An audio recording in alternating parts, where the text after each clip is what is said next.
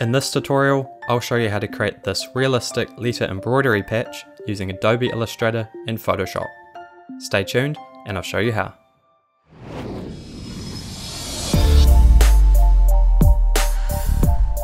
Studio Shephrd. So starting in Adobe Illustrator, we're going to select the type tool and we're going to add our text. And so I'm going to select the letter S and I'm using the font Kega which is a free Adobe font and in the font size of 281 points.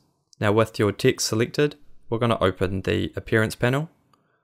And here I'm going to add a new fill. And I'm going to have my fill set to white. Now we're also going to add a new stroke. And I'm going to have this set to black. And making sure it is pure black. And I'm going to set the stroke to around 21.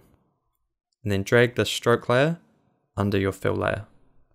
Next, select the stroke and we're going to go down to Effects, Distort and Transform, Transform.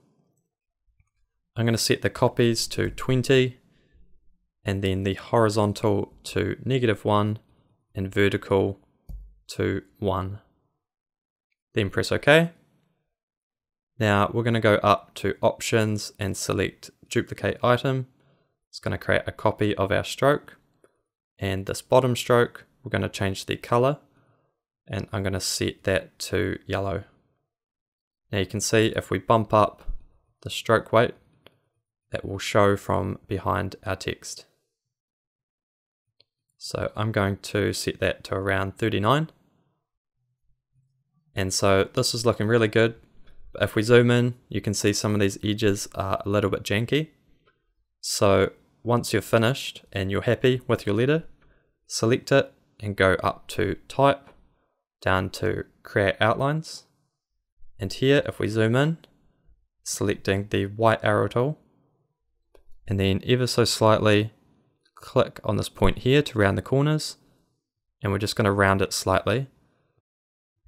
And as you can see, it's going to fix those edges. So once you're finished, select your text, Command C or Control C to make a copy, and then we're going to jump across to Adobe Photoshop Beta. So if you don't have Adobe Photoshop Beta, then jump into Creative Cloud, go across to Apps, and then select Beta. And here we can install Adobe Photoshop Beta.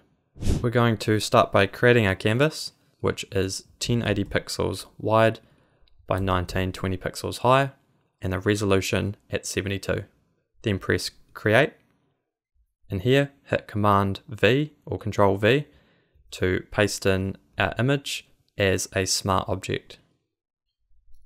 And here I'm just going to scale it up within our canvas, then press enter. Next, we're going to go up to filter and select parametric filters.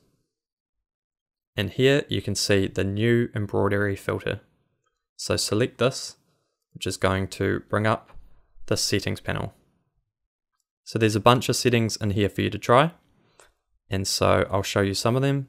So I'm just going to adjust my light angle here to around 139.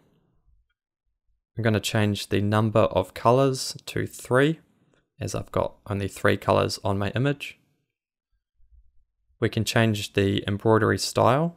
So I've got it set to fill, but we can have it set to fill and outline, just outline, or a top stitch. But for this, I'm going to stick with fill. You can change the fill and outline tightness. So that's just going to create some small tweaks. I'm going to leave that at 0.25. You can change the thread thickness.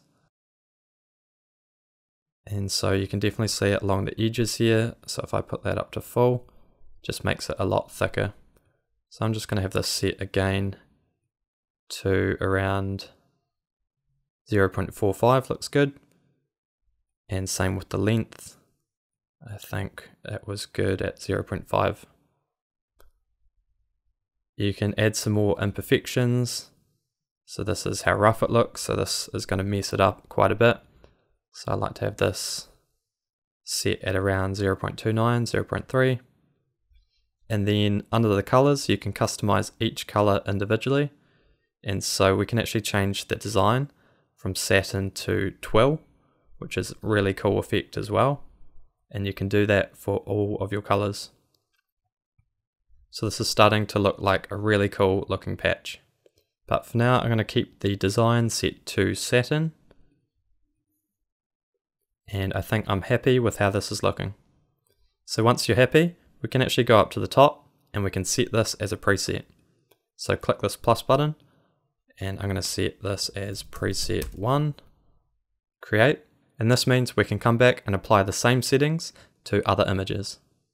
And that's how to create this letter embroidery patch effect in Adobe Illustrator in Photoshop. Thanks for watching. If you enjoyed this video, be sure to hit that like button and subscribe to stay up to date with the latest design tips. I'll see you in the next video.